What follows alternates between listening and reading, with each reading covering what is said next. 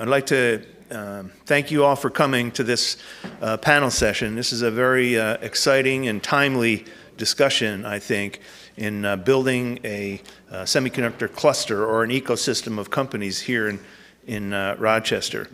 Um, clustering in Rochester is not new to us. We are, in fact, the home to the, uh, one of the largest optics, photonics, and imaging clusters in the world and starting with Kodak and Xerox and evolving. And now what you have is over 100 companies, small, medium, and large, doing all different things in the optics and imaging world, uh, providing the bare glass, making the lenses, machinery that makes the lenses, machinery that measures the lenses, uh, a lot of applications in these things. So uh, we, we kind of know how that works. Underlying that is uh, world-class programs at the Institute of Optics at the University of Rochester and the Center for Imaging Sciences uh, at RIT. So that's kind of how this works. And uh, that's why we have this very uh, distinguished panel uh, here today. So a semiconductor cluster in Rochester is also um, very timely. So New York State um, was one of the leaders in the semiconductor industry uh, IBM was one of the first companies in the world to start making semiconductors in the late 50s, actually. And uh, at first at uh, Endicott, where they eventually uh, moved that to the Hudson Valley and did their packaging of the semiconductors. So we'll hear a little bit about packaging as well as making the chips and explain that to you in a little bit. So, so that's been around for a long time. And then a, a couple of decades ago, New York State started very aggressively investing in uh, building a semiconductor industry in upstate New York. And it started with uh, what is now a $20 billion uh, mega complex uh, for Albany nanotechnology, the nanotech complex in Albany on the, uh, on the SUNY campus. And then um, they brought SEMATECH up, which is a consortium from Austin, Texas. And then uh, New York State started incentivizing companies. And the first big deal was, uh, was originally Advanced Micro Devices, which became Global Foundries in, uh, in Malta, New York, just north of Albany. And then continuing to aggressively recruit and incentivize companies, there was uh, Wolfspeed, which is a power semiconductor company in Utica. And then uh, more recently, there's uh, an announcement of an unbelievable $100 billion investment over the next 20 years in Syracuse by Micron. This is the company that makes memories. And then uh, more recently still is a, uh, a, the development, the announcement that uh, Edwards Pumps uh, is locating at the Science Technology Advanced Manufacturing Park in Batavia. And these vacuum pumps uh, are machinery that's required to make the chips. So you're beginning to see same way in, in the clustering of the optics. You have machinery, uh, you have uh, chip design here. Uh, we'll talk about that, advanced micro devices. You have packaging companies uh, here as well.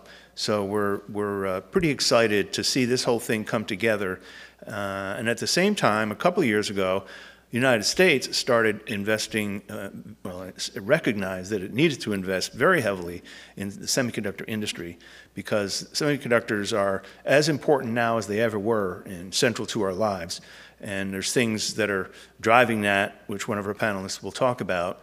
And uh, so re uh, recognizing that and knowing that most of these chips are now made in Asia, the United States launched what's called the CHIPS Act, uh, and that is a $52 billion program to uh, develop, uh, to reshore uh, semiconductor manufacturing in the U.S. And so you're going to hear from that uh, from our speaker from the federal government as well. So um, I'd like to introduce our panelists. Uh, and we have people from academia, industry, state, federal, and uh, local uh, economic development. So these are five different uh, perspectives on, on building this this capability, and all of these are critical to that success. So first, uh, Dr. Eric Bohannon. Eric is a member of the Circuits Technologies uh, team at uh, Advanced Micro Devices here in Rochester, where he works on integrated voltage regulator technology. A little bit of a mouthful, but uh, Eric can explain that. Prior to joining AMD, Eric worked at Sony Corporation and Synaptics, both in Rochester. He holds over 25 U.S. patents and received his BS, MS, and PhDs from the Rochester Institute of Technology, and he is also an adjunct professor at the University of Rochester and RIT. Uh, Next to uh, Eric's uh, left is uh, Dr. Karl Hirschman, who is the Micron Professor of Microelectronic Engineering in the Electric and Microelectronic Engineering Department at the Rochester Institute of Technology. Karl received his PhD degree in electrical engineering in 2000 from the University of Rochester and has published over 80 technical papers and is refereed in, uh, in refereed journals and proceedings. He has been teaching courses in semiconductor devices and processes at RIT for over 25 years and is now serving as the director of the microelectronic engineering program. And uh, uh, Karl will tell you about that very unique program we have at, uh, at, the, uh, at, the, at the RIT. Uh, we do not have on the panel today the representative from the University of Rochester, um, Eby Friedman, and he was going to talk about the things that are going on at the U of R. Uh, and there's a very large program at the U of R, multidisciplinary from across the campus, a lot of it centered in electrical engineering, but also applications in biomedical engineering and material science and things like that. So we have the two universities really uh, are fertile ground for supporting uh, this technology, both from R&D and, and workforce development. Uh, next, to uh, Karl's left, we have, we're pleased to have Laura Fox O'Sullivan. Laura is the director of the Empire State Development's Finger Lakes Regional Development Council. Prior to joining Empire State Development, Laura served as uh, vice president, um, as the president of Rochester's first food business incubator, the commiss- commissary, and as vice president of the Rochester Downtown Development Corporation. Laura holds a bachelor's in history of art and Arch- architecture from the University of Pennsylvania and a master's in urban and environmental planning and policy from Tufts University. Uh, next online, we have uh, Chris Zeltmann. Uh, Chris is the regional director of UN United States Senator Charles Schumer's Rochester Finger Lakes office. Chris directs and manages the Senator's office's activity within the nine county Rochester Finger Lakes region and provides federal support and attention to constituents, municipalities, community, and economic organizations in the region. And finally, last but not least, the man who brings it all together uh, is Matt Hurlbutt. Matt is the president and CEO of Greater Rochester Enterprise. Matt has a responsibility for supporting businesses, business attraction, and expansion in the Greater Rochester, New York region. Matt guides business development strategies, organizational resources, and outreach efforts to position Rochester as a destination of choice for business investment. And Matt's got a lot of exciting things to talk about in his work in the semiconductor sector. So now, without further ado, I'd like to uh, have uh, Eric Bohannon come up and uh, talk about his work at AMD. Thank you, Paul. It's great to be here today. And I'd like to begin this presentation and give a little bit of insight on how the semiconductor is viewed in industry at a high level, at least from my perspective. So first, let me give a little bit of my background. Um, I went to RIT, um, BSMS in 2007 and PhD in 2011. I adjunct at both universities, RIT and the University of Rochester, mainly focused on analog, digital, and mixed signal electronics. And professionally, I've worked at Synaptics, optical fingerprint touch sensors, integrated touch and display electronics. At Sony, I worked on quantum film image sensor electronics and high dynamic range image sensors. More recently, about 14 months ago in February of 2022, we opened a site in Rochester for advanced micro devices. They recruited us to work on a specific technology around integrating um, voltage regulation inside of their big SOCs, their processors, delivering lots of current efficiently to their processors. Uh, in industry, one of the things people tend to focus on is patents, and I've tried to make an impact there. So um, I've got over 25 granted U.S. patents. So we take a step back, and we can ask ourselves, you know, what what are some of the key and important drivers in the semiconductor industry today? It's constantly evolving. Um, there's demands everywhere, and what we see driving the industry today is artificial intelligence and machine learning. You're all familiar with ChatGPT. It takes a lot of powerful processing to do that, and a lot of these advanced semiconductors are used to meet that need. The Internet of Things, sensors, wireless technologies, wearables. Lots of low power, advanced mixed signal electronics are needed to, to meet that demand and create those products. Wireless communications, 5G, speeding up our internet. It's another big topic driving industry today. What processes do we use? What devices do we use? And how do we get that done? Autonomous vehicles. Most people are aware of the self-driving car uh, boom going on out across the country. Um, specifically, there's a lot of you know photonic electronics integration there, and technologies like lidar. And so, semiconductors play a big role in that effort as well. Cloud computing.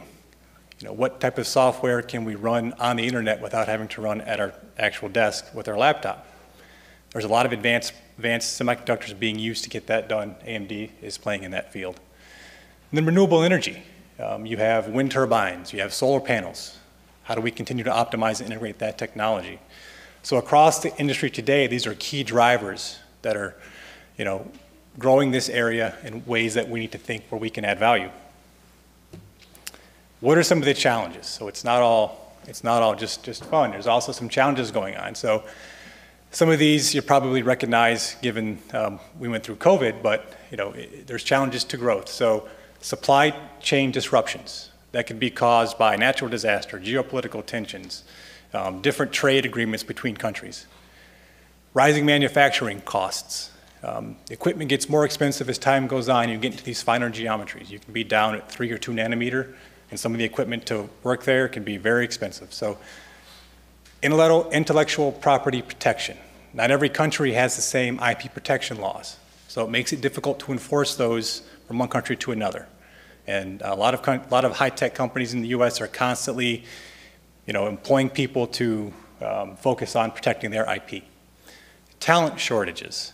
Um, there's massive talent shortages in uh, the semiconductor industry. At my previous company, Sony, it was so important that they um, have instituted special, um, I'd say, incentives for, for students and people to go into the semiconductor field in that country. So talent shortages rise from you know, a lot of the experts that are moving on, um, and really a lot of other students are going other paths, computer science, machine learning, these type of things, AI. So it's leaving a bit of a vacuum for semiconductor with, with regards to talent shortages. Increasing competition, as you know, um, there's a lot of companies playing in all of these spaces, so you know, they're all competing against one another. If you're not careful, that can drive down uh, costs, reduce revenue, and make it harder for these companies to grow. So those are some of the challenges we face. Okay, what about the parts in the industry that all need to work to make um, something like your phone um, come, to, come together, right? So I came up with at least key, seven key parts. You have your semiconductor manufacturers, right? These manufacturers will design and build a chip. You have your equipment manufacturers. So what's the equipment needed in a foundry to get that chip manufactured? You have your material suppliers. So you know, we have to, the basic materials used to build semiconductors. We have the packaging and test companies. So these, are, these companies are going to take our chips, they're going to package them in a package, figure out how to test them so that they're reliable, qualified. We have design software companies. Um, some of these chips have billions of transistors on them. It becomes difficult for a single engineer or a small group to assess that technology individually. So there's lots of tools out there that allow us to make such complex chips, often referred to as EDA, right? So it's electronic design automation.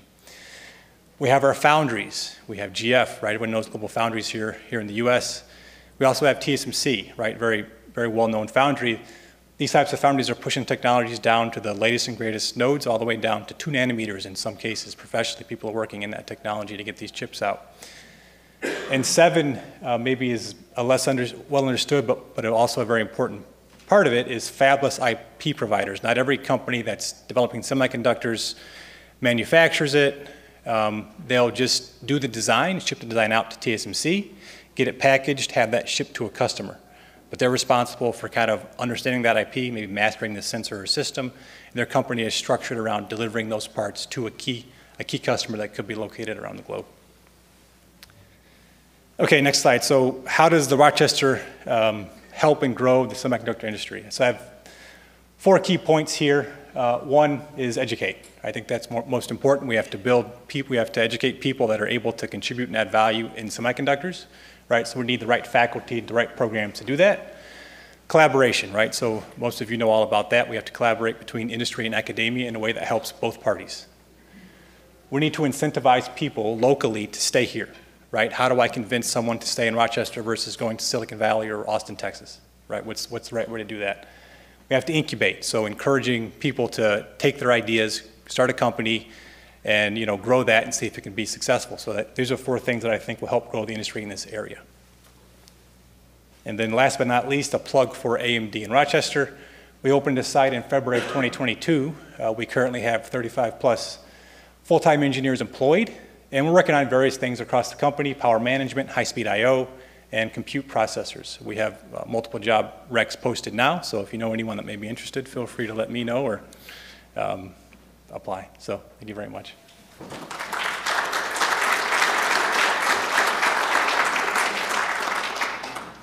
Thanks, Eric. That was fantastic. A, a great lead in on a, a, lot of different topics. Um, and my slides have, I think, more pictures and less words. Uh, so it was a, a, good start to get us all kind of calibrated on some things. Um, so I'm uh, Karl Hirschman with uh, Rochester Institute of Technology. Um, I'm the director of our microelectronic engineering uh, degree programs. Uh, and as, as Paul said earlier, I've, I've been with the uh, department for, for many years. Um, our, our program uh, does uh, have a variety of research activities, but uh, when our, our program actually was founded in 82, 1982, so it's over 40 years old now, um, as the, the first accredited um, program in microelectronic engineering, um, and remains specifically the, uh, the only accredited uh, BS program. It's actually accredited as an electrical engineering program, uh, but it has the, uh, the courses and uh, science and engineering uh, that is needed by um, engineers in the semiconductor field. So I'll have a little bit more details on that. We currently have over 1,500 alum that are in all the major semiconductor manufacturing companies. Um, and here's just some representative pictures that we have. All in the, uh, the background uh, is our uh, cleanroom facility uh, that we have at RIT. So if you've not seen it, um, please contact me and we'll arrange for a, a tour and bring your friends. Um, we, like to, we like to show things off. Okay. Um, our degree program is uh, specialized in that it, it contains all the wide variety of the, the multidisciplinary things that you need in order to build chips. Um, so it has the, uh, the, the, science and math foundation. Um, it's got the electrical engineering core, but it also has the materials, the chemistry, the physics, the optics, all of those things that are involved in, in semiconductors. Um, I'm used to, to pitching this, of course, to prospective students and parents thereof um, in order to share the opportunities and you know the, the wide variety of things that, um, that our students need to know. Um, but it is a challenge uh, because it is a specialized program. So the, the tendency is for people to think of it as, as narrow when in fact it's, it's actually quite broad. Um, so that is one of the challenges that we face um, among some others in getting students right excited about this field, get, getting them into uh, these um, specialized degree programs. Okay? One other thing to highlight here is the, uh, the co-op uh, employment opportunities that our students have. And I think that that's really key and important. It's a signature of uh, all of our engineering programs at RIT, um, where the students work with these companies, get this real world experience, working on advanced technology nodes that they're, they're not actually getting a hands-on lab experience at RIT. Um, so it's a, it's a wonderful complement to uh, to what we do offer um, in their education. Okay?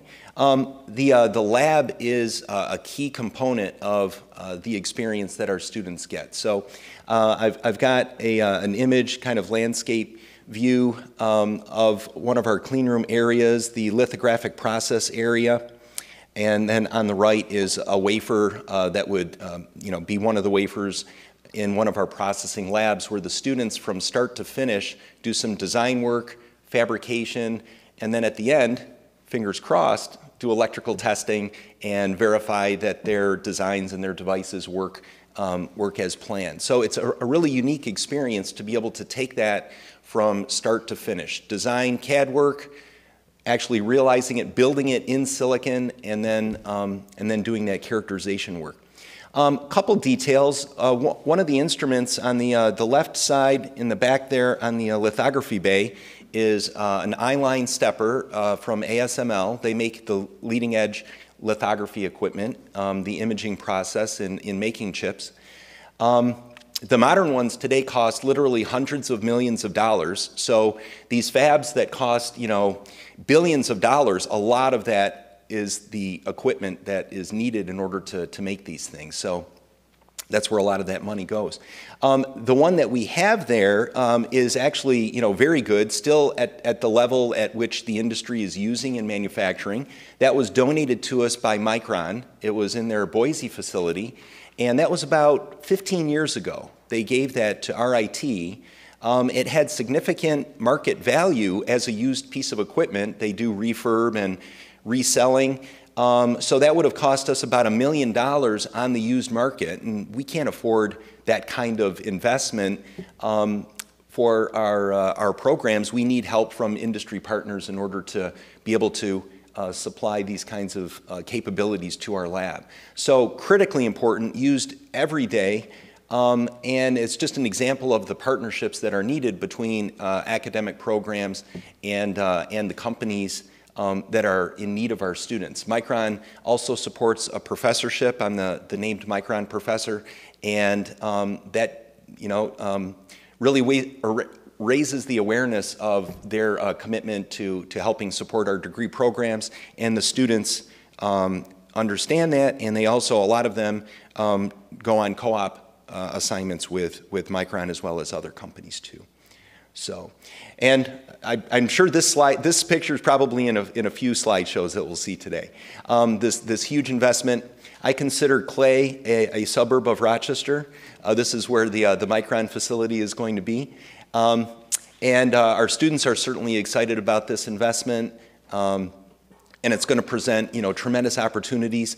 I think the HR folks um, in, in Micron, as well as other semiconductor companies um, are, they, I think they are hyperventilating when they think of the workforce needs, right? The number of engineers that they are going to need to, to serve these facilities. You've got brand new fabs, you've got TSMC in Phoenix, you've got Intel in Columbus, Ohio, and you've got Micron down the uh, thruway, and all of them are $20 billion investments, and they're all going to need thousands of engineers and technicians and other support um, operations uh, to, to run these plants.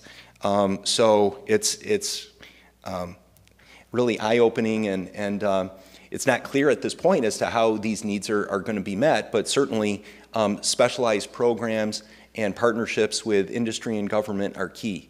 Um, Micron, just this might also be another slide, so I, I don't want to steal some things that are in more detail in other presentations, but this is our, uh, our president, um, along with Chuck Schumer, our president was uh, gifting a, a, plaque to, uh, to Senator Schumer um, in acknowledgement of a, uh, an appropriation that was uh, gifted to RIT um, in order to uh, upgrade our infrastructure to help support our lab. As I mentioned, our facility is, is starting to show its age.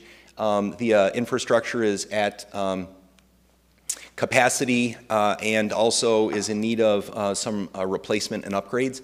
And this is going to be instrumental in, uh, in helping us um, and, and hopefully uh, be expanding our, our degree programs too in order to um, graduate more students. So we're really excited about this. And just to, just to kind of wrap up here on, on the, uh, the job opportunities, uh, so the CHIPS Act will present thousands of new jobs in the U.S. semiconductor manufacturing right? And the key word there in there too, besides semiconductor, is is manufacturing, right? Making these chips um, and and uh, having these companies, you know, be sustainable and, and make money. Um, so they're going to be hiring thousands of engineers at uh, at undergraduate, BS, and, and master's, MS levels. Um, a lot of jobs, uh, right? All all kinds of engineering disciplines. Um, are, are needed, uh, but there needs to be some understanding and, and knowledge of, of semiconductors, right? What, what chips are. Um, technicians, uh, there's, there's thousands of jobs that are also going to be needed uh, for two-year degree program graduates, um, people to uh, run the uh, processes, troubleshoot, fix equipment, build equipment, right? All of those are going to need um, the engineering technology programs. Um, people changing careers. You know, mid-career folks are, are going to be looking for opportunities to um, change their skill set and uh, take uh, perhaps non-degree certificate programs uh, and then change uh, their career path. Um, I've got research scientists there, of course. We've always been, been good at producing research scientists and, and, and the, uh, the, the patents and, and new technology. Um, they're last on the list because of the, uh, the, the manufacturing um, emphasis here, uh, but there's, there's the semiconductor industry will be will be taking them all. So it's it's just the uh, the need to to have them work in these disciplines um, and related fields. So, okay, that's it for me.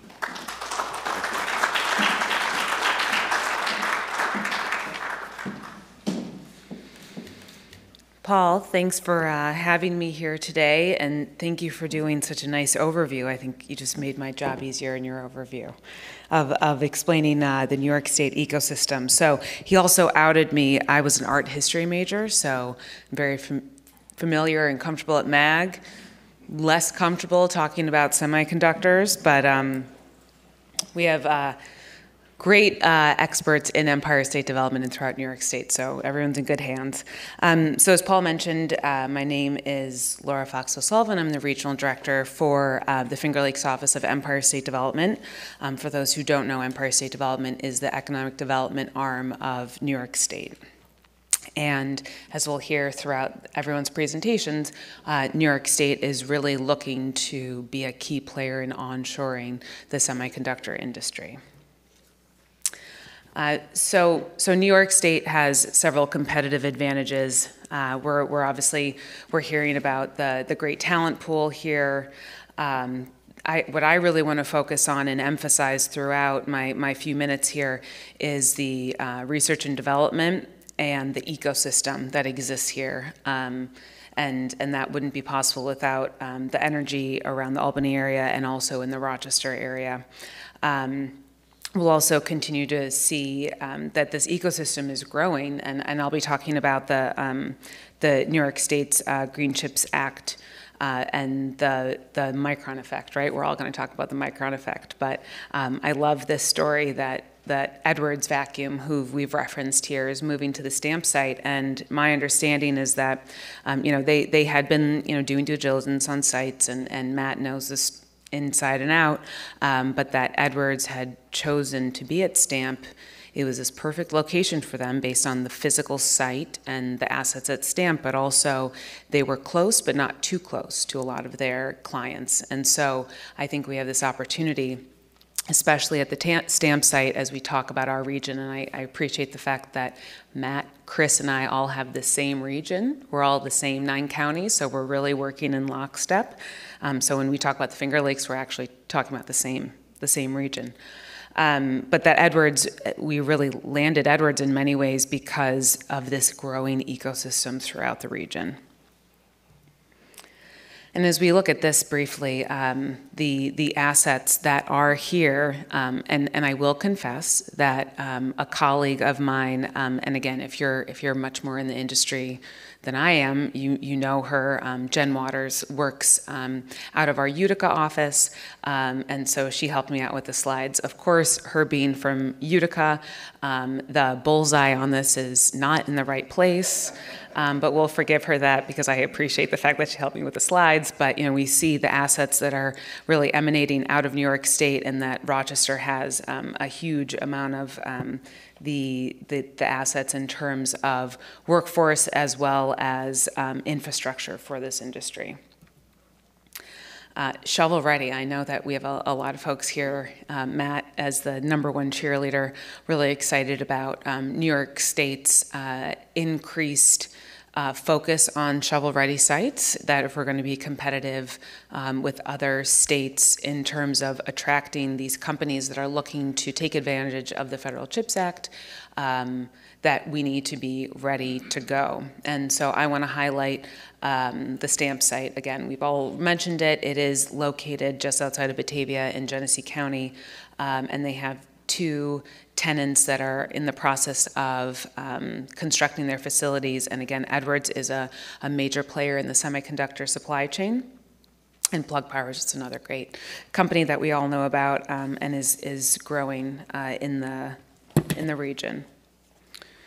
Um, I, I will mention, you might hear um, in more technical conversations with New York State that um, Fast New York is a program um, that is um, New York State putting dollars towards uh, shovel-ready sites. Again, um, the way that New York State has traditionally done um, site development is different than many other states, and this is this is again more aggressive, more trying to uh, attract um, the the types of companies that we want locating and onshoring in New York State.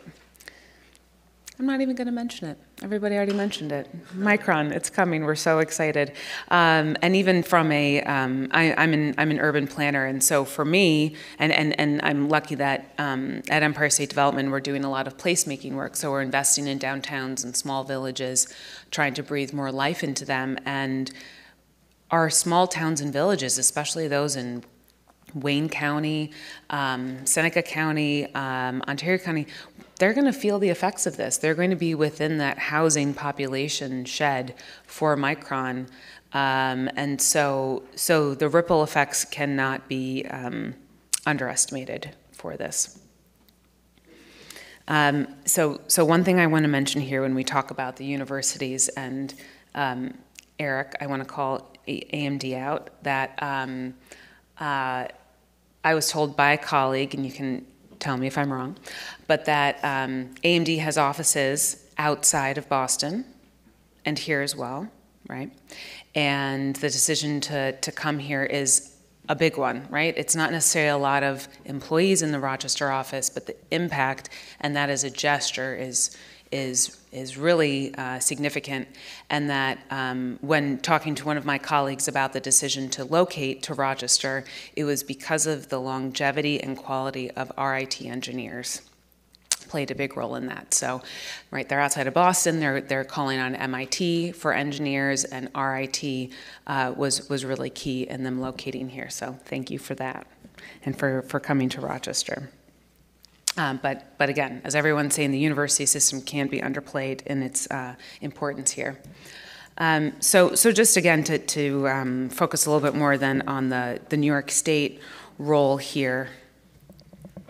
Um, and, and these are, uh, I'm, I'm not going to run through this, but if a company is looking to grow here, uh, the, you're, you're always going to hear about the Excelsior Jobs Program. And, and very simply, it's uh, tax credits to have great paying jobs, high quality jobs, um, and um, and it the more a company uh, emphasizes um, green building, um, providing childcare, um, higher quality, higher salary jobs, the more of a tax credit is provided.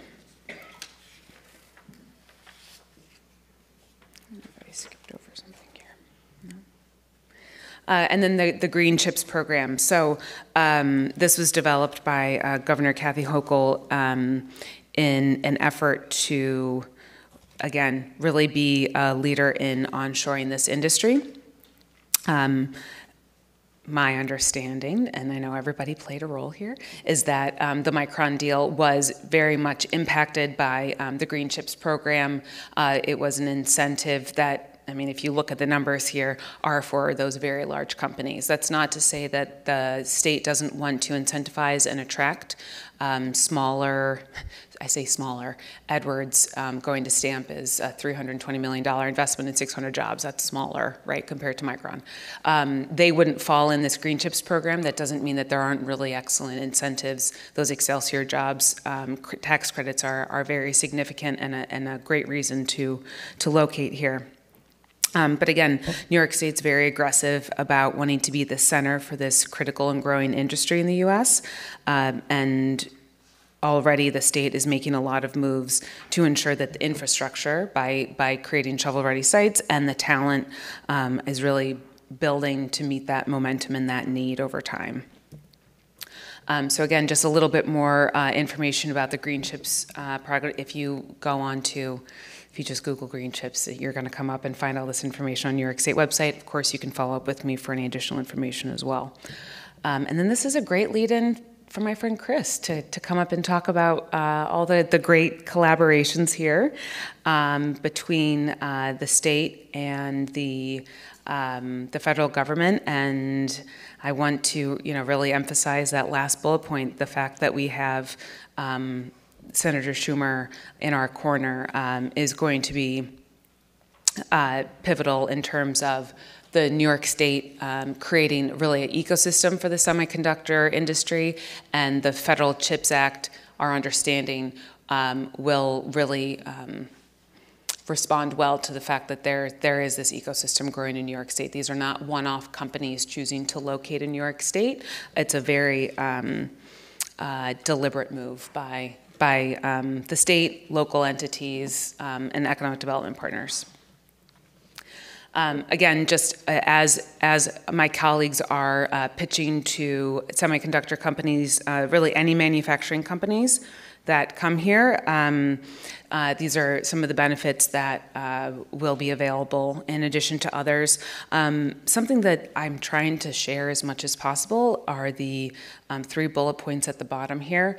Um, I know that Matt is working on a kind of big project right now that um, that this this uh, notion that as a manufacturer uh, you qualify for zero percent state um, income tax, and that uh, as a manufacturer also your machinery and equipment um, has no state or local sales tax. That's not something that all companies know about New York State, and so. Um, as you're talking to potential manufacturers, those are great talking points, um, as well as the, the no state personal property or inventory tax.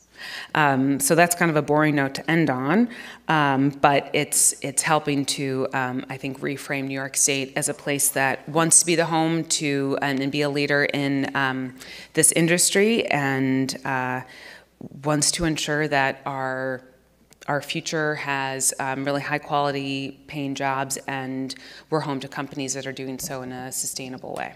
So with that, I turn it over to Chris.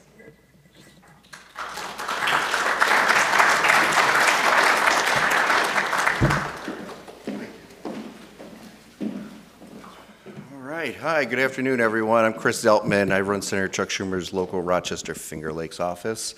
Um, and uh, glad to be here. Paul had asked to talk a little bit about kind of the chips and science origin story, um, how we got to the point where last August um, we had passed the probably largest investment in scientific research and um, semiconductor manufacturing here in the U.S. So um, I will start with just maybe talking a little bit about um, my boss's thinking around back in 2019. Um, he's you know long been concerned with addressing U.S. competitiveness, especially vis-a-vis China, um, both to you know head off sort of uh, disturbing rise of the, the, Chinese Communist Party and you know its kind of brazen tactics of you know um, uh, poaching, you know, uh, intellectual property, you know, via cyber operations or technology transfers or uh, other um, uh, policies that were kind of undermining manufacturers, especially a lot of OPI companies that I've met with and we've worked with over many years now. Um, but so that was sort of one concern, but also in terms of you know, what can we do here to reindustrialize the U.S. Um, and really home grow the critical industries that'll dominate in the decades to come? Things like AI, machine learning, quantum computing, biotech, semiconductors, you name it, because we, we know that China's really directed its energies and policies towards beating the U.S. and like-minded countries to dominate in these areas that um, will really um, um, be what will dominate the 21st century. So and particularly with semiconductors, really the race is as fierce and as high stakes as it, as it can get. Um, you know, we, we wanted to, at the same time, you know, take proactive actions um, to really outcompete China by investing in our nation's critical science and technology generators to reindustrialize the U.S. and solidify U.S. leadership in scientific, and technological innovations through increased investments in discovery, creation, commercialization in the technology fields of the future. So that was sort of playing on his, in his mind uh, back in 2019 when he was uh, in the uh, gym at the Senate on his exercise bike, uh, burning some calories, probably burning some more calories chatting with folks. And uh, one of the people that he was talking with was Senator Todd Young, who's a Republican from Indiana. And they had a good conversation. Senator Young had indicated he was also very interested in these same kind of scientific investments um, that Senator Schumer was really focused in on. And so they agreed to, to work together on legislation to revive America's commitment to science and innovation. And together they drafted the Endless Frontier Act, which was in 2019 there. It was the largest government investment in R&D of new technologies, high-tech manufacturing since the end of the Cold War. And um, they, uh, it became, that bill sort of became the blueprint for the science part of the CHIPS and Science Act. It was, fun footnote was Endless Frontiers Act. It was named after the report uh, that um, Vannevar Bush presented to President Truman in 1945. Vannevar Bush was the head of the Defense Department R&D during all of World War II. You know, folks that brought us radar and um, uh, all of the and the Manhattan Project. And at the end of the war in 45, he presented to President Truman this report. It was entitled Science, the Endless Frontier, and really advocated for the creation of the National Science Foundation and a big peacetime investment in science and technology. And so uh, Senator Schumer, um, you know, really resonating with him. He said, this is what, yeah, we'll name it the Endless Frontier. The problem was everyone thought it would pertain to, you know, the Wild West and Conestoga wagons and, and all of that. So as you can see the trend, by the, by the end of it, we were pretty blunt, just saying chips and science, right? Trying to be as precise and clear as we can get. Um, so that was 2019. By December 2020, you know, Senator Schumer then joined with uh, Senator Cornyn, Republican from Texas, to begin talking about our nation's chip crisis by pushing to create a new federal chips incentive program as part of that year's National Defense Authorization Act. Um, and then about a month later, that's when Senator Schumer became majority leader and then directed the chairs and the members of all the relevant Senate committees to really start working on drafting an entire legislative package to help with uh, U.S. competition and uh, to create uh, new American jobs, and uh, directed them to use the Endless Frontier Act as, as kind of the core of that effort. Um, that then became the U.S. Innovation and Competition Act, which is the first time that we had both the CHIPS Fab Incentive Program and the um, uh, science uh, program in it. The big thing with the science side is that it, we're creating a new tech directorate at the NSF. That was like kind of the um, the hallmark, the uh, the um, uh, big part of the Endless Frontier Act, and that's what we've maintained throughout the other iterations of this. You know, and the CHIPS Fab incentive is really geared toward addressing that delta between building here in the U.S. versus the lower cost of construction in Asia. Um, so, let's see, by early 2022, the House had passed its version of USICA called the Competes Act. And then last summer, we conferenced the House and the Senate bills together and um, uh, passed the CHIPS and Science Act that President Biden then signed into law. So this is sort of an overall breakdown of the various investment pieces on the chip side and on the science side.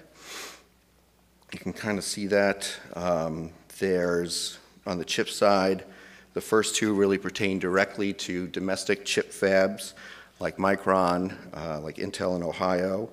Um, there's 11 billion for the NSTC and the National Advanced Packaging Manufacturing Program.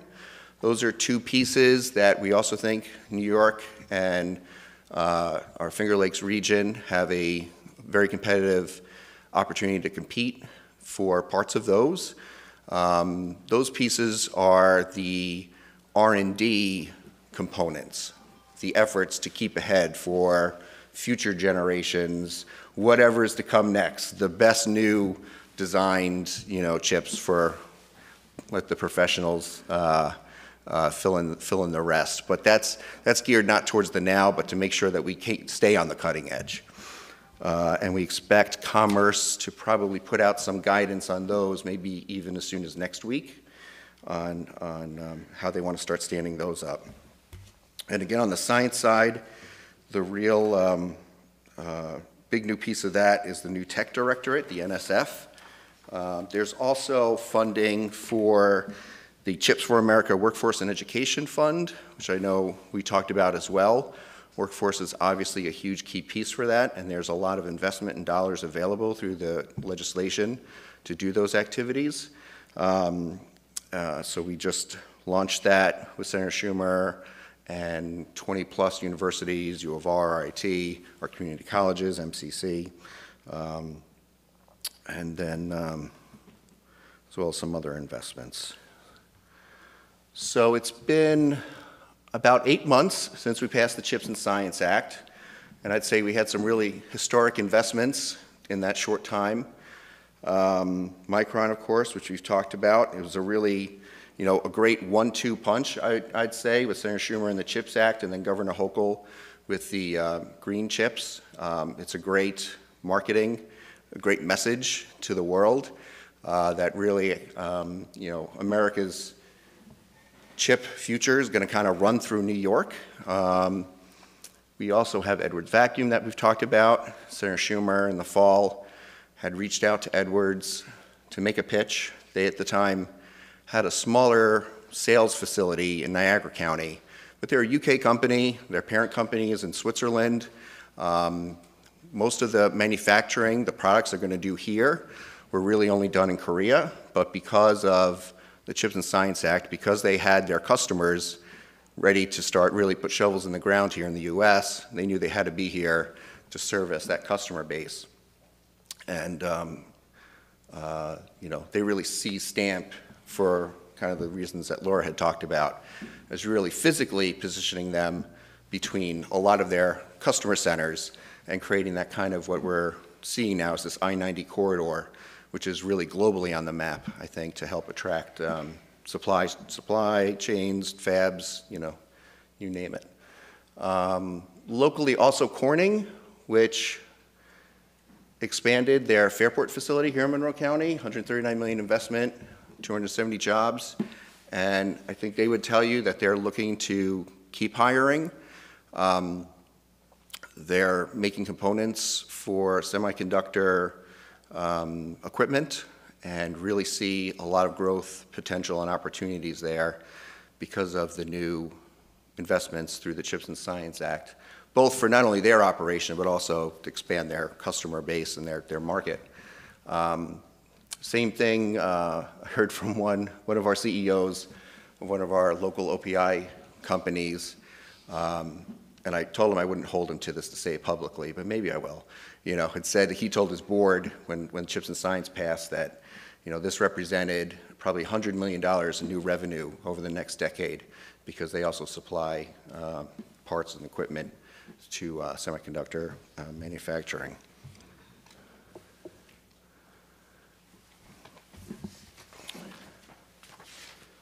And then going forward, um, you know, the CHIPS and Science Bill really helped rebalance this asymmetry I was talking about between the U.S. and China in terms of onshoring and in the production of vital technologies that we need that are in everything and will continue to be essential to everything we do. Um, we're still globally competitive in designing of advanced chips, but we're you know, woefully behind on manufacturing. Only 12% of the world's chips are now made in the U.S. China produced about a quarter, and uh, that, that's going up. So really, without the CHIPS and Science Act, you know, the projections had been that Asia was projected to control about 83% of the global semiconductor supply uh, by 2030, and the U.S. share would actually decrease to 10%. So we're hoping with the CHIPS and Science Act we can uh, rebalance that. So in the long run, you know, the legislation really eased semiconductor supply chain um, concerns, increased domestic inventories of chips, lower costs for consumers. Um, I, it was a fun uh, August day when we were at Bob Johnson with the senator talking about uh, chips. The one woman who's right behind the senator had been waiting, I think she said, for about nine months to get the, uh, the truck that you see in the background there. Um, but uh, that was the day she, she got it, so she was happy. Um, And then going forward, I think we'll continue to have lots of opportunities to benefit from the investments. Um, The Commerce Department, like I said, and the NSF are now really feverishly standing up a lot of these programs. They're soliciting input, you know, releasing guidance documents. Uh, We see a lot of opportunities to start filling in a lot of our shovel-ready sites along the I-90 corridor. Matt can talk more about what's in the pipeline, you know, and opportunities that we have there. Um, NSF as well is starting to roll out a lot of the funding that they'll have. We've, our region has always done very well in terms of securing NSF grants and funding to really accelerate economic development and commercialization.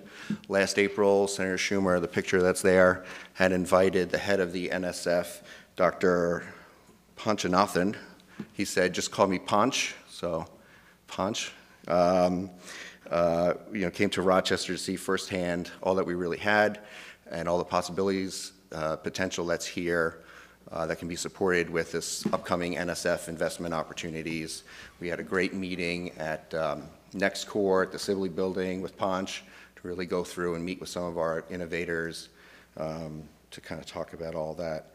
And then, of course, chips, chips and workforce, which we've kind of touched on as well, will be uh, opportunities here in our ecosystem, and really, I think, um, you know, will be important for industry as well to have this capacity here for, for training and education.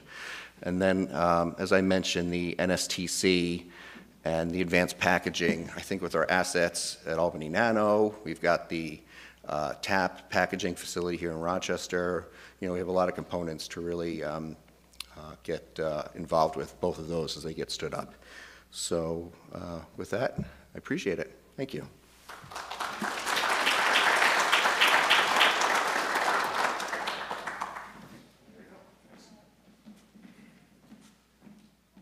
Good afternoon. Paul, thanks for uh, having me. I, I will say my presentation is going to be short. They took all my talking points. Um, so, uh, Greater Rochester Enterprise, very quickly, is the uh, region's business attraction and business support organization. Uh, we uh, cover the nine county region, providing companies responding to formal requests for information known as a request, uh, an RFI. So, oftentimes, those are 80 to 100 of pages of information on demographics, supply chain attributes, uh, the physical sites or facilities that a company needs, um, incentive information, and then uh, talent, uh, not just enrollments at local colleges and universities, but also that supply chain and the, and the uh, graduation data, as well as expansion and uh, attraction information. If you remember anything, the, the real key is, is the, the end there. So we've actually worked with everybody here and many of you that I see in this room. It's a very collaborative effort. So, uh, in response to requests for information, which is very data intensive, then you meet with corporate organizations and executives and understand what is keeping them up at night. And oftentimes, one of the reasons why we are so busy and had so much success is that the smart people that live in this region, the smart businesses that are here growing, uh, some of them are demonstrated uh, on the panel here today, are really the story of Rochester and this region and, and driving innovation uh, certainly with semiconductor, semiconductor supply chain opportunities, but also some of the recent wins we've seen in the past year. Uh, we've seen success across uh, food and beverage. Um, AMS is another company that's here doing design work, Li-Cycle, Sydor Optics, Corning, which was mentioned before. And again, many of them are in these key industry supply chains. So last year we saw $1.2 billion of investment, 3,800 uh, new jobs coming online, and 1,400 retained. We talked about Edwards.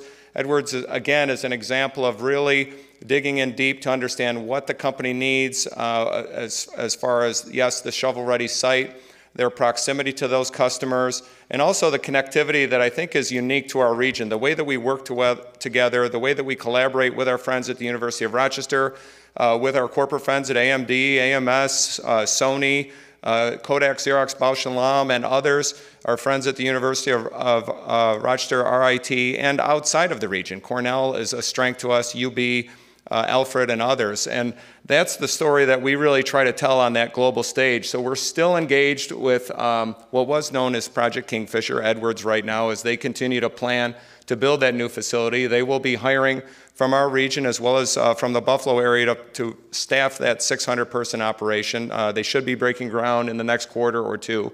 The design is already moving forward. And again, as you see that investment being made, we have other connection points and stories to tell in the semiconductor realm and in the sem- semiconductor supply chain. This might be a little difficult to read, and you will note that uh, you won't recognize any of these names because these are the, the difficulty of what we do every day at Greater Rochester Enterprise is usually we're engaged in, a, um, in an NDA with companies as they uh, seek to make major, sometimes multi billion dollar investments in a community. And it's a very, very competitive process. So you see before you some semiconductor and uh, semiconductor related supply chain opportunities. You can see we have several active projects. Tower has been mentioned.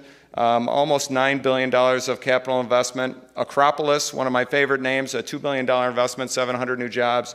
A Golden Barrel is in that uh, packaging space uh, that Paul mentioned before, about 1,300 jobs, uh, $900 million investment. Stella, uh, almost $700 million of potential investment, still very active. Discovery, again, is another uh, semiconductor packaging opportunity, almost uh, $600 million of investment, 800 new jobs.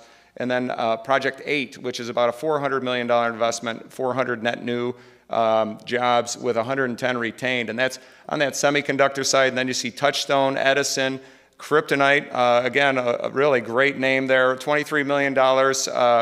Uh, with very active uh, in the space. And then Lilly, which is a smaller engineering related opportunity. So we're leveraging the supply chain and we see opportunities in the packaging realm as well as other supply chain companies. And we're working with our partners at the state and with the federal level to promote our region for those investments. You, you will see uh, those wins. Quest was, um, was Corning, and Kingfisher again was Edwards, and those are, are coming to the region. Nebula was a, was a loss where they uh, are going to uh, a state in the Midwest for a $500 million investment. Rockstar was actually uh, started off as Micron, which then expanded well beyond that. Uh, Dragonfly was Intel, who ended up in Ohio, and Ajax was, uh, was Samsung. And I think that was pretty well documented where they were considering the stamp site. They ended up going to Texas. And that's, that's sometimes the difficulty in an in a opportunity like that, where always prying a company away from, a, from where they're already existing in an operation is one of the most difficult things in the business attraction realm. But honestly, we did have a very good uh, opportunity with all of those opportunities. Uh, the, the key to Micron was really uh, that the 1,400 acre canvas, uh, very large uh, water pipe uh, just in Clay, about 500 or 50 million gallons of water a day, which is almost a city.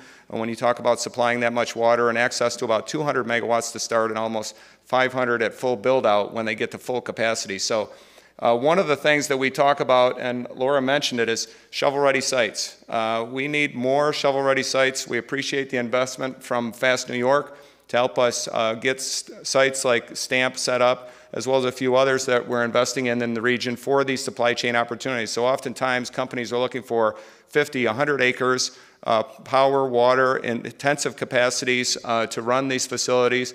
And then we like to talk about the supply chain uh, that we have here in the region. When you look at uh, over 118 companies, 33,000 of them in employment that can support these types of technologies. You see D3 Engineering that does a lot of design work, Linton, who's expanding here, L3 Harris, Applied Image, and so many more that are in this space that have the capabilities, the technical knowledge uh, to grow themselves as well as support uh, semiconductor and related activity in the region. And then we also talk well beyond, well, we have our 18 colleges and universities, about uh, 74,000 students, 18,000 graduates a year here in the nine county region, we really extend that talent pipeline across upstate. And I think you also saw this in some of Laura's uh, slides where she talks about the upstate ecosystem. We try to relay the fact that if upstate New York was its own state, we'd be the 26th largest state in the country. So from Buffalo to Albany in the southern tier, it's something to keep in mind. And that corridor, that I 90 tech corridor where companies like Edwards can supply companies like Intel in Ohio, as well as Global Foundries and certainly Micron. We are ideally suited to have those companies build out, leverage our ecosystem here, and connect to over uh, 400,000 students across upstate and those 79,000 graduates and that STEM enrollment of 50,000 students and over 16,000 graduates. And that's just a sample of the outstanding universities that we have across upstate on this slide. And we certainly have good connectivity with our local colleges and universities that really help us tell that story, but also uh, connecting beyond that as we have prospects that are in the region. Then the other key part is that technical training. Typically, 80% of, of employment at one of uh, the fabs or uh, supply chain opportunities is going to be with a two year degree or industry credential. And certainly, Monroe Community College is an outstanding uh, training provider and uh, community college in that regard, also sharing curriculum with Finger Lakes and GCC. So we've got that ecosystem well wrapped. And in fact, for Edwards, ECC, MCC, GCC are sharing curriculum and they're ramping up now to supply the skill sets that are going to be needed at, at Edwards facility as they build out at the stamp site. And I think, is that my last slide? Yeah, that's my last slide. So, um, again, looking forward to having a conversation with you. We are very active, certainly in this supply chain and with semiconductors in general, uh, but also in so many other industries that are really all high tech and leverage, leveraging some of the semiconductor attributes so they can process food and beverage package and so many other key skill sets, certainly in medical device and other technologies. So, thank you, and uh, looking forward to the conversation.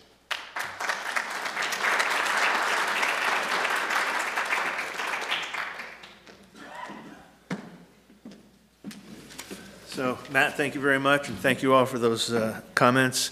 Matt, you mentioned uh, the food industries here, LiDestri and others. Uh, So we thought we would combine semiconductors and food, so we have a lot of bags of potato chips out there, so people to eat. So, all right, we have time for some questions uh, from the audience. Anybody have any questions about what we're trying to do here?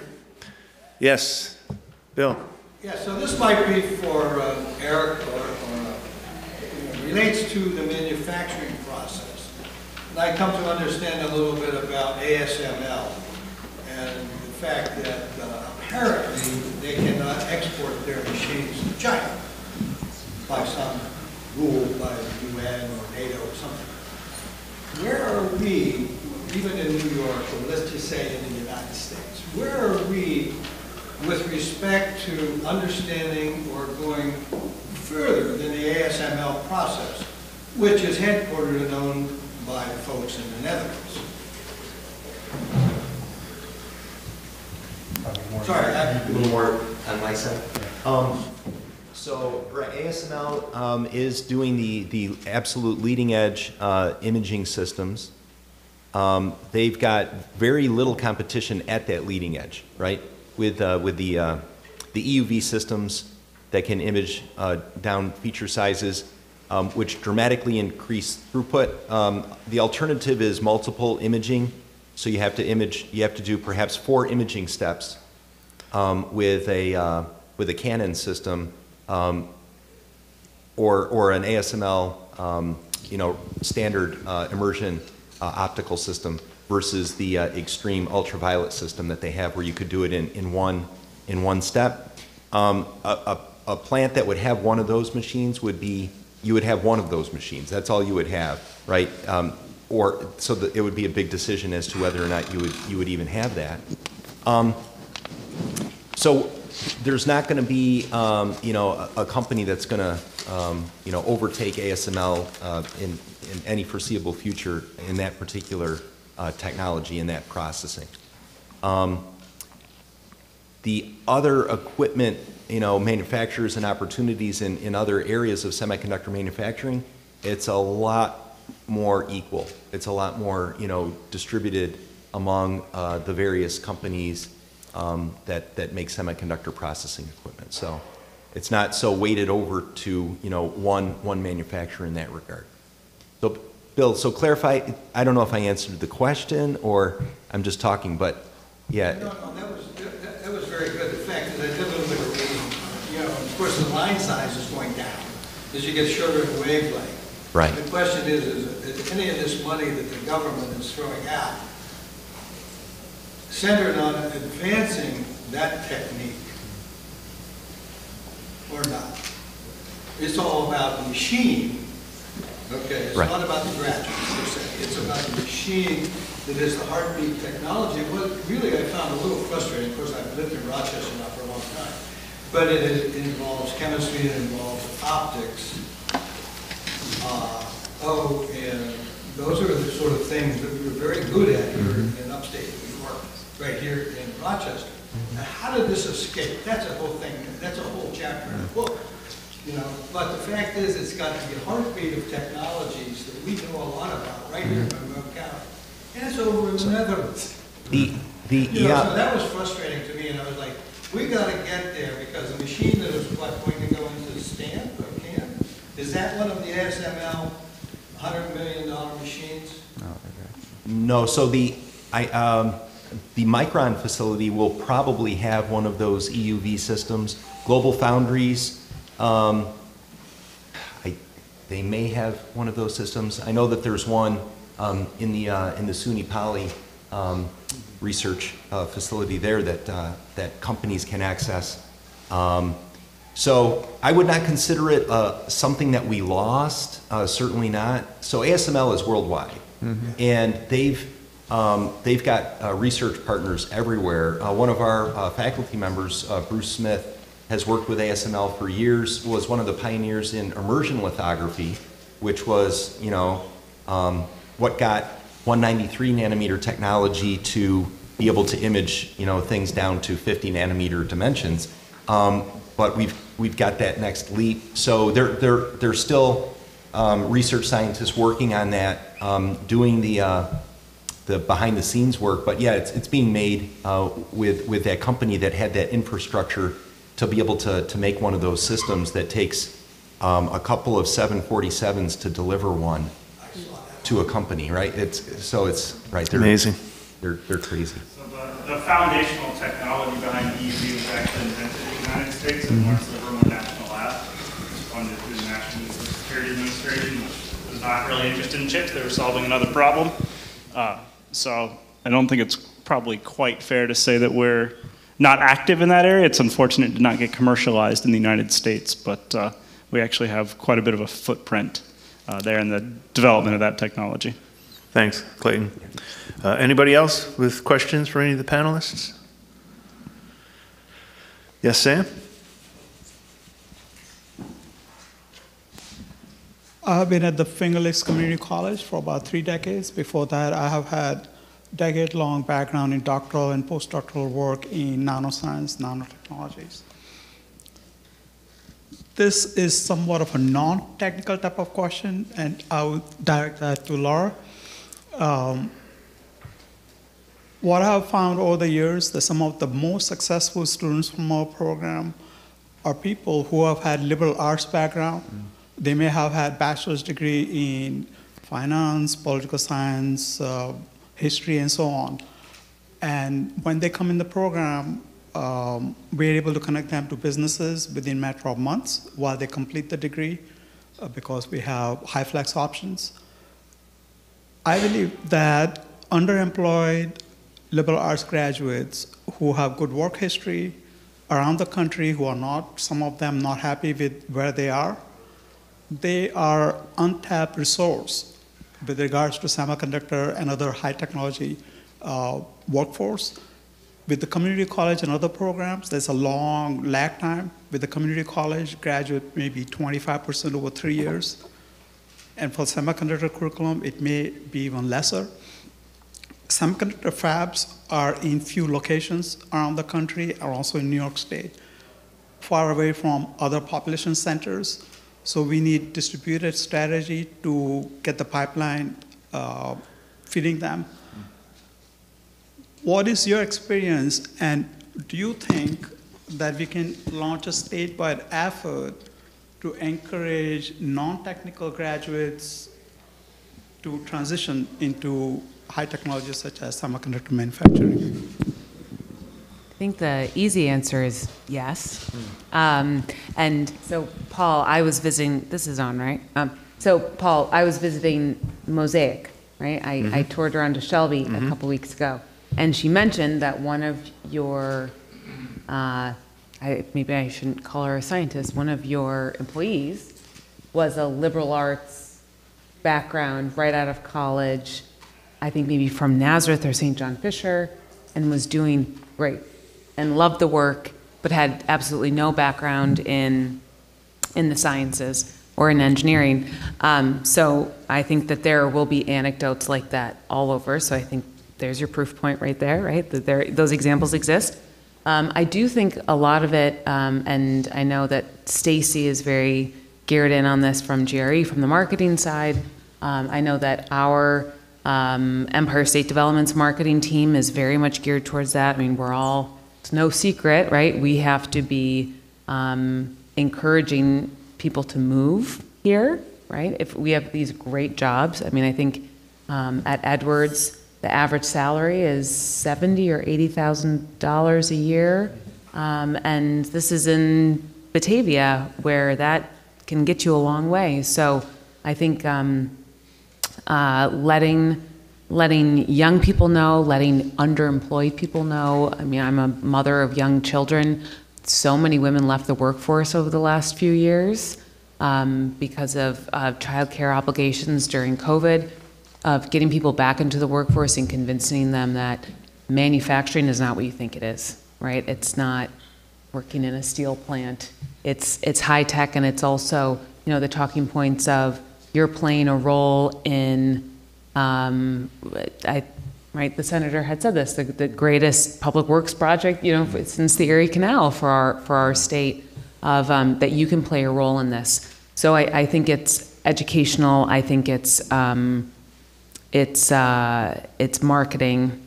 And I, I absolutely agree that I think that there's potential for that because it's one thing to say, yes, we need to be, you know, convincing children in the Rochester City School District that they have a future in um, in manufacturing and in engineering. Then you don't need a four-year degree to do it. Um, but these jobs, Edwards is hiring this year, so it needs to happen now. So thank you for your for your thoughts on that. Thank you, Laura. Uh, Anybody else with questions, the panel? Hold on a second with that. I want to give some other people an opportunity, or I got a couple questions I wanted to pose first, and we'll get back to you Bill, in a second. So uh, Eric, I've got a question. Uh, What kind of starting salaries can uh, graduates expect at the various degree levels, bachelor's up to PhD in the semiconductor industry? That's a great question, and I'll kind of answer it two ways. The first way, um, some of you may know, some states over the past year to three years have passed pay transparency laws. And so, well, when I, when I, what I mean when I say that is, you could go to some of these companies, look at the rec online, and see the range of salaries for the listed position. So California and New York are two states that have those laws. And so for the different roles in recs at AMD or other companies out in Silicon Valley, you can go find the role, find the requirements, and see the range of pay. Um, in IC design, it is- it is not uncommon for a graduate student, maybe master's to PhD, to have a starting salary between $125,000 and $175,000. And that's a base salary. And on top of that, there's other incentives like employee stock purchase programs, restricted stock units, and bonus. And so those, those are very common numbers in the industry. And, you know, it's less mysterious today because, like I said, you can go online and verify that for yourself in just a few minutes. Thank you. Um, Got a question for Karl. Uh, We talked mainly about chip fabrication, the clean rooms where you process the wafers and all the uh, sophisticated lithography tools. But as we know, in order to use a chip, you have to package it first. You have to cut up the uh, wafer into chips and package it.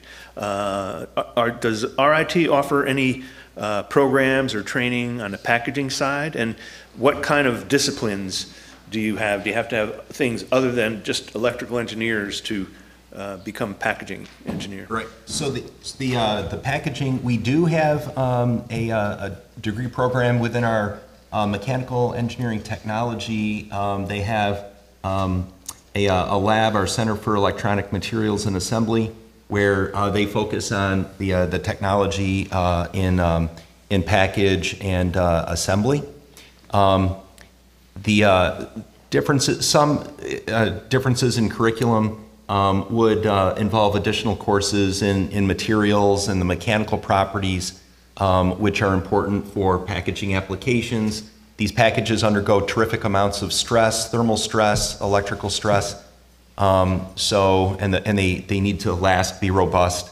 Um, so it's, it's, it's certainly a critically important part of, of the, uh, the whole uh, product that's being made, right? The, uh, the chip inside the package.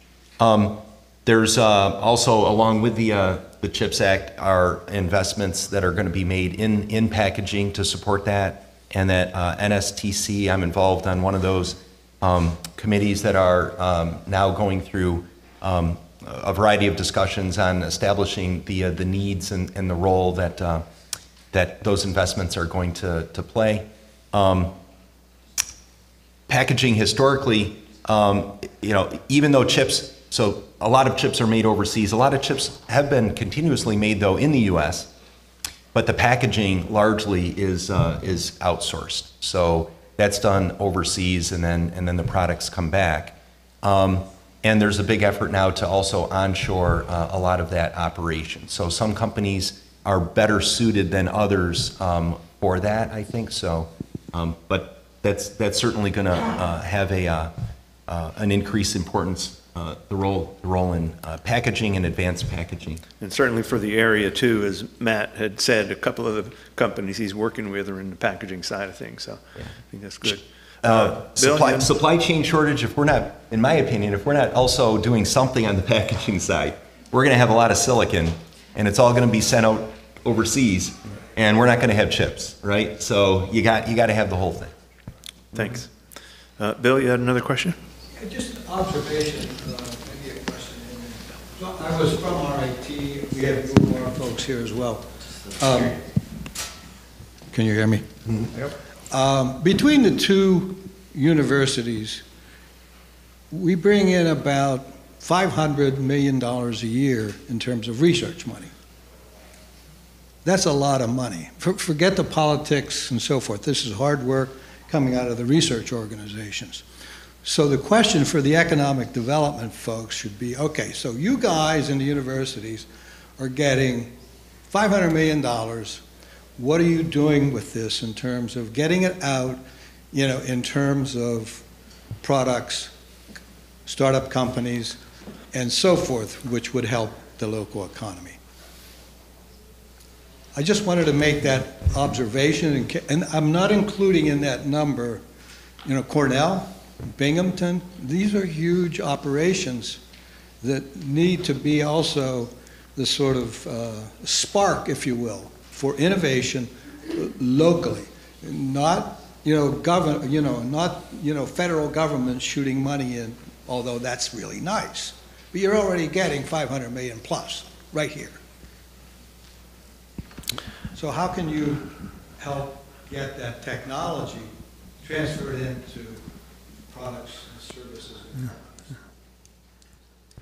Well, um, it's interesting because I was just having a conversation with an individual just before this uh, panel started, and um, it's uh, uh, somebody actually from um, uh, Rochester that has a company, Ruben Auspitz, sitting right there, and his company is IP.com, and he's enrolling a new program to help universities do exactly that, to help uh, using the, the sort of uh, artificial intelligence that uh, they use to um, help universities uh, enable companies to come in and, and understand what's going on. And so I actually want to introduce Ruben to Laura afterwards because I think that's something that uh, New York State as a whole, uh, NYSTAR, could, could benefit from. But there's definitely things that, uh, that we can do more. I mean, the- the whole purpose of the CATS and the COEs, the CAT program was started some 40 years ago, I think, uh, is to, you know, is to enable that. And we're doing a good job, but now with this new technology, I think we can even do a better job of um, that technology transfer. I don't know if any, Yeah, and, that- and the only other thing I would say is, and I think it relates on the workforce side too, is that we, we do a very good engagement both on the local expansion side, when you look at Corning's announcement, working with MCC on their optical technician program, which is the only one of its kind, as well as the University of Rochester and their optics program and, and RIT. Uh, so you've got good industry connection. When you talk about $500 million, that, that money is in different segments. So you've got the laser lab, which is certainly an asset for us.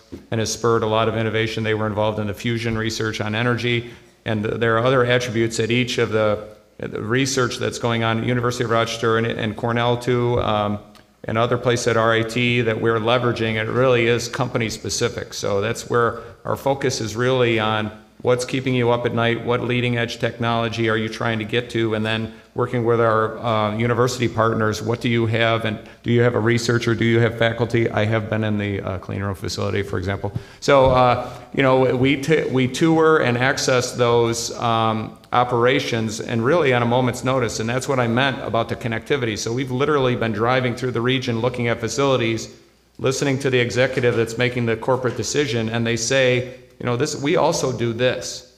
And then uh, at a moment's notice, we will stop by our university partners to tour a clean room, to tour a lab, and demonstrate the capabilities here, and that can be the deal maker. We've had Edwards in facilities at U of R, RIT, MCC several times now.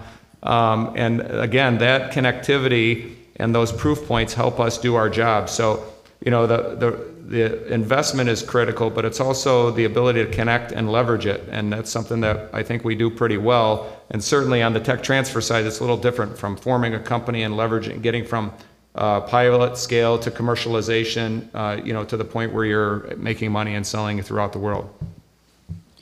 And I, I think I'll add to another shout out to Senator Schumer and his vision with Endless Frontiers Act. Another component of that that I don't think was talked about was the new Technology Innovation and Partnerships Director at, at NSF that is specifically targeted to applied research and helping universities uh, move some of this stuff out into the world. There's opportunities just rolling out now, so we're taking a look at those and trying to figure out ways uh, to take advantage of those opportunities. They'll obviously be uh, merit review based, so you got to compete for them. There's no guarantee they'll they'll come here. But uh, I think it's a pretty exciting time and recognition that the, the need uh, to continue to move those innovations out in the world and grow the local economies. Yeah, I was going to mention, I saw Jim, Jim Senall in the back, you know, that kind of, the pipeline that, that we have here, where, you know, we had the one slide with uh, our NSF director purposely, you know, at NextCorps to make that connection between the research dollars that NSF is putting in the community to the output that you're seeing, the commercialization of all that. So we have that pipeline, and yes, we just need to keep, I think, focus on it and, um, you know, augment a lot of what we have, which is, you know, a, a good network and a good ecosystem. We have time for a couple more questions. Anybody in the back? If you can uh, wait for a microphone, because this is being live streamed.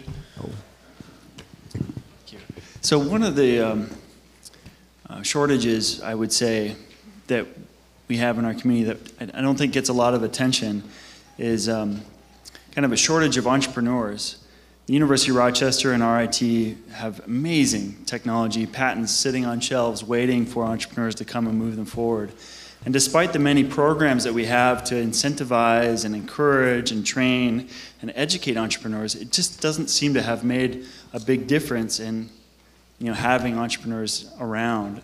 And so I'm wondering what thoughts um, the local and federal government have about, about you know, solving this problem of the shortage of entrepreneurs, at least in the upstate New York area. Well, I'll, I'll give you my opinion, is that it's a chicken and egg. And if you ask a venture capitalist, how come you're not investing enough in Rochester, they'll say, there's not any entrepreneurs or ideas coming out of Rochester. And if you ask entrepreneurs, they'll say, there's no venture capital money. I can't start a company here. So th- there's a virtuous cycle in Silicon Valley, and that it all just converge, and every VC wants to be in Silicon Valley, and every entrepreneur wants to be in Silicon Valley. And so we have a lot of venture capital here, and we do have a lot of entrepreneurs, and we're very fortunate to have organizations like NextCorps. But your perception, perhaps, you know, is that, well, how come this is not a Boston, or how come this is not a Silicon Valley? Why is it only uh, a dozen or so new tech companies a year? Why isn't it hundreds? And it's it's the chicken and egg problem. And I know the people on this panel and Jim Senall and uh, a lot of people at the U of R and RIT are working hard to uh, to move that forward. But it's not easy. It's very difficult to do.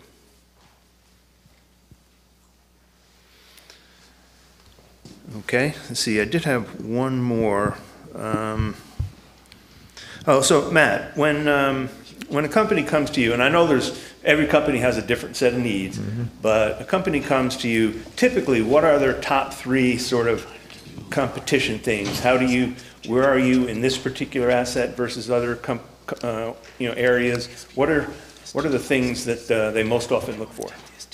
Yeah, um, usually their, the top requirement is a, let's say, 200, 200,000 square foot facility or 100, 100 acres shovel ready with certain power, water, wastewater attributes within th- five to, uh, three to five miles of a highway or an interstate, and then it gets into the talent. So uh, demonstrating not just uh, typical demographics, but the technical talent, understanding in some cases, especially with uh, high-tech companies, software-related, not only um, the number, the uh, companies in the region, how many people they have working for them, but what the skill sets are in those companies. So it's a lot more, they, they do what's called a bent, uh, desktop analysis where they kind of know the averages for your community. They typically call us and say, you're in the, in the final 10 or 20 uh, facilities, but you need to prove to me that you've got the current talent, um, you've got the physical assets that we need, or that or you can get there in our timeline, and then uh, you can demonstrate the ability for existing talent, that pipeline, and the ability to recruit, and then the business ecosystem. And it's different for every company. Some want supply chain companies, so we've done um, uh, data around, especially some energy uh, opportunities where we're looking at supply chain uh, prospects within a 400 mile radius. It's very data intensive. And then we've got some that are a little smaller, but it is about, okay, so what are those salaries? What are their skill sets? How do we access that talent? Can we work with our colleges and universities to adjust the training um, for our needs? Um, and then how are we going to skill that up and keep that going into the future? So, and it's all competitive because we're competing with other metropolitan areas or perhaps other countries for that timeline and the investment. It's all about um, cost, cost, avoid, cost avoidance, uh, risk reduction, and the ability to execute. So we talk about that all the time. It's one thing to have a plan, and it's one thing to say, if you come here, we'll do that.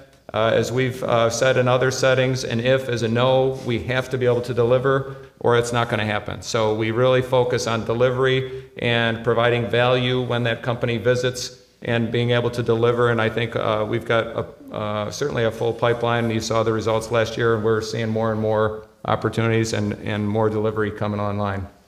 Thanks. All right, we're just about out of time. Uh, Anybody else with a question? All right, I, I want to say that uh, it takes a, you know, a lot of organizations working together to kind of move something like this forward.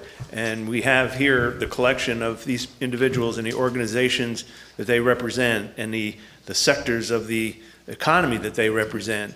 Uh, So I, I love to hear Matt talk about that there's really a lot of collaboration going on. You could add to this group NextCorps for its, uh, you know, entrepreneurship uh, approach and uh, Monroe Community College, et cetera. So um, pretty, pretty excited to see this, this kind of discussion. I think, to my knowledge, this is the first time that uh, the community has been exposed to all what must go into kind of creating a new industrial cluster. So thank you very much.